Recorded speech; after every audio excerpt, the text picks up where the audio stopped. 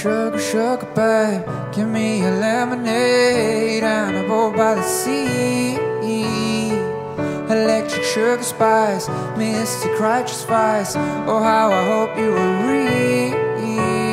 It won't take no time, girl. Unlike this lockdown, yeah, I'm sick of fooling around, girl. So hold on tight, cause we're about to sail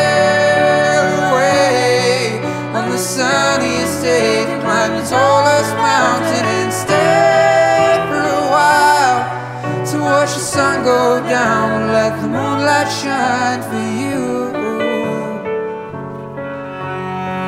To let the moonlight shine for you.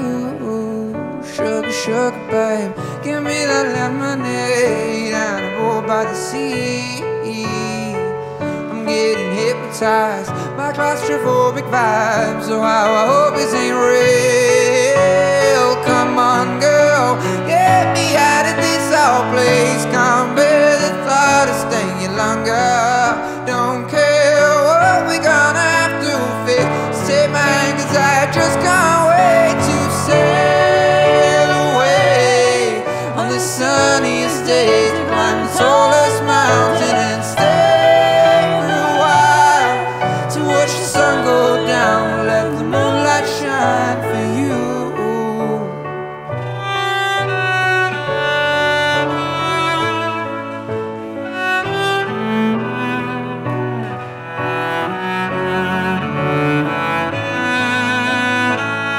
Let's fly to the sun, let's fly to the sun, let's fly to the sun.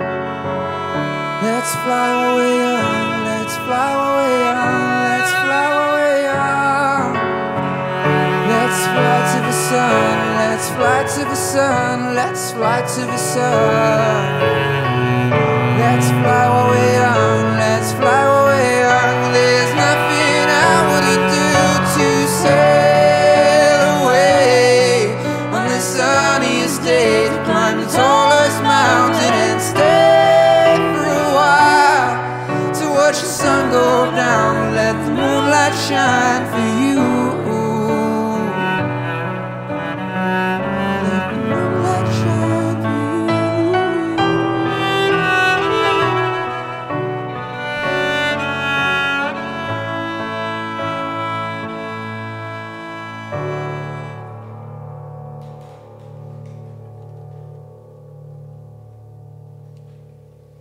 O čem je tahle písnička? Tak Sail Away uh, jsem napsal, když jsem byl v pokoji při- během covidu a když jsem se jako málem zbláznil, nebo jsem měl pocit, že jsem se zbláznil Hmm. um, v malém pokoji a no a mě vlastně jakoby zajímá vlastně, jestli jako už to proběhlo, že jo, ten covid už je teoreticky za náma Hmm. A jestli jsou jako nějaký dopady vlastně covidu, o kterém ani nevíme, jestli to má nějaký dopad na nás, na, nějaký, na naši jako mentální zdraví, který ještě jako se trvá jako teď. Hmm. A nebo to už je pasé a... Ne my, jako jde vypustit duše, ale myslím, že obecně lidi vždycky říkají takový to, a už o tom nemluvím o tom covidu, jo, už je to za náma, už to tady s náma není, tak to není tak podstatný, ale my vlastně ty dopady začínáme zaznamenávat teď. A protože jak to všechno doběhlo a usadilo se do nějakého jako prostoru, tak to taky vidíme. A um, myslím, že už je jako neoddiskutovatelný a že se samozřejmě zvýšil počet obtíží, duševních obtíží mezi lidmi. Mm-hmm. A to z 20% na 36%. A to je poměrně vysoký číslo. Ten covid sám o sobě ukázal, že měl teda jako dost moc na duševní zdraví lidí. Asi ne sám o sobě, on to jako neuhrál sám, potřeboval k tomu asi něco dalšího. Ty jsi mluvil o nějaký izolaci a já myslím, že hodně velkým tématem pro lidi byla nějaká nejistota, a beznaděj, že to byly tak jako často skloňované termíny, které vlastně my jsme potkávali, protože to tak pro ty lidi prostě vypadalo. A vlastně byli nuceni do něčeho, co dělat nechtěli a na co neměli vliv a co nemohli žádným způsobem jako otočit. A proto taky možná překvapivě mm, stouplo v té době jako třeba riziko sebevraždy, riziko sebepoškozování a tak dále. Tahle čísla jsou dostupná. A, a je to vlastně z toho, že vlastně skrz COVID si uvědomili, že to, co už žili, vlastně ne, jako nechtěli žít, a nebo je to z toho, že vlastně COVID měl vlastně efekt na jejich život, takže um, že z toho jako jsou ty problémy. To bych se netroufla říct. Abych, pro mě to bylo hodně teda o pocitu kontroly. Víš, že jak kdyby lidi, kteří se sebe poškozují, to za mě, protože mám jako přátelé, kteří si tady tímhle s tím prošli, zabil se mi takhle kamarád, protože se přidušoval takhle. Takže uh, ve chvíli, kdy máš pocit, že nemůžeš něco jako kontrolovat, tak hledáš jiný způsob, jak tu kontrolu získat tady v tomhle tom. Jo, já s tím úplně souhlasím. Hmm. Myslím, že ta kontrola je jako do, dobrý termín, hmm. který to nějak jako pojmenovává. A zároveň my jsme říkali, že ono to taky přineslo pro mnoho lidí spoustu dobrýho. Mm-hmm. A protože spousta lidí se vlastně během těch lockdownů zastavila a do té doby běžela. Mm-hmm. A běžela jo, úplně jako neuvěřitelným tempem. A ten covid nás jako všechny trochu jako zbrzdil, uzemnil. Jo, pro některý lidi to bylo vlastně užitečné v tom, že se začali věnovat úplně jiným koničkům, protože mm-hmm. na to měli čas.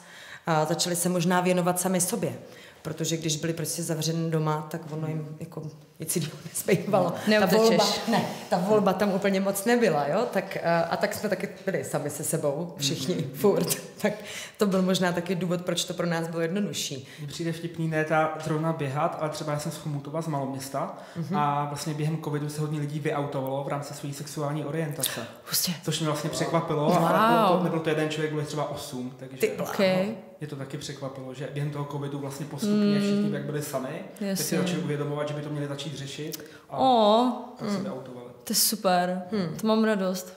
To je skvělý. Mm. To chtěl odvahu. Když jsme vlastně mluvili o té kontrole, jo, mm. tak um, mě k tomu jako hodně napadá, že to, co my jsme během lockdownu, třeba jako, jako nebo co jsme těm lidem jako nabízeli, bylo, že my jsme nikdo z nás nemohl změnit tu situaci, která byla. Ten vliv na to, že bychom hmm. jako zařídili, že naše a tady um, vláda udělá ta opatření jinak, nebo že tu covid nebude, to jsme neměli ale tu hybatelskou roli jako máme jako lidi někde jinde. My můžeme ovlivnit, co budeme dělat odpoledne. Můžeme ovlivnit, jak vypadá náš jídelníček, s kým mhm. trávíme čas, čím se bavíme, a s kým jsme rádi, s kým rádi nejsme. To jsou všechno věci, které máme plně jako ve svých rukách a mhm. můžeme vlastně díky tomuhle se nějak jako zaměřovat na tyhle věci. A ne uh, vlastně možná na to, že jsou věci, se kterými nepohneme, protože to není možné. Tak je to nějaký jako nástroj, jak v tom možná jako pracovat nebo být v těch těžkostech. Jo. Co můžeš ovlivnit, tak na tom makej a co nemůžeš ovlivnit, jo. tak to post, protože ti z toho jinak jebne. Jo, jo já to taky takhle ráda říkala. Ono je to samozřejmě těžký, že někdo řekne, tak to pust, to nech bejt. Jo, tak, tak jako, potom vždycky, a to ale ani pro člověka, co říká jako pustit, tak to jako není jednoduchý proces, ale pointa je, že to prostě děláš na tom. Hmm. Vždycky myslím na Gabora Matého takhle, ne, hmm. ne, jestli neznáte, tak to je jako světově uznávaný uh, doktor, terapeut, on přež, přežil jako Auschwitz, jako miminko. Hmm. Strašně zajímavý životní příběh má. A on právě vždycky, když se ho ptají, tak uh, říká, jako, že by hrozně chtěl na náhrobku uh, větu, bylo to daleko víc práce, než jsem předpokládal. to přijde geniální. jo, jo. A je to vlastně hrozně zajímavé, mě se to třeba protlo potom s, psychedelik, eh, s psychedelikama, s asistovanou psychedelickou terapií, kdy vlastně jako v rámci šamanismu se práce s těma látkama, jako třeba v Jižní Americe říká trabacho, jako práce. Mm. Že ty vlastně kon, kontinuálně na sebe musíš jako furt pracovat a je to neustávající proces, ale čím víc jako do toho šlapeš, víc sám sobě jako rozumíš. Mm. Tím jako aspoň ta sinusoida, ta křivka tvého života, která je prostě pro každého z nás jako nahoru a dolů, tak aspoň seš jako v tom a nefackuje tě to tak, víš co, jako že maximálně tak jako občas pohladí po tváři, se řekneš, jo, dobrý, mm. chápu, děje se, prostě a jdem dál, jako, protože, víš co. Mně se k tomu trochu teď navázalo u toho, že je to práce a ty si hezky říkala, ono to tak jako běží a ten život tě někdy jako nakládá, mm. jo. Myslím, že my máme jako představu, že by měl být furt stejný, ale on mm. není. Mm. Jako ty těžkosti jako přicházejí jo, a budou se nám dít v tom životě a když je nám pět, tak máme nějaký a když je nám patnáct, tak máme jiný, až tam bude 40, budeme mít taky jiný. A my vlastně se musíme trochu učit v tom nějak taky být a mít ty nástroje na to. Baví ten, eh, ten nápad, že vlastně člověk si představí, že právě, že, že teď jsme v 20 jako století, jako všechno má být krásné, já se zasloužím být, mít super život. Oh. A vlastně nikdy to takhle nebylo. Nikdy. Ne. Jako nikdy. Nikdy na světě nebylo, jako, že, při, jako, že máš zadarmo easy život a hmm. že to je ší, jako šílený, že máme takové očekávání jako od toho života.